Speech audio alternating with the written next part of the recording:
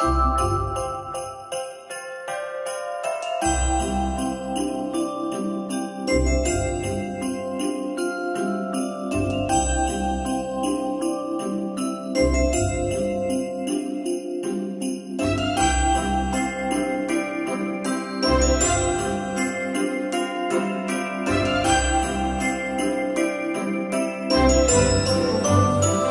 believe it's only five days until Christmas Day? I can't. Thank you guys for watching.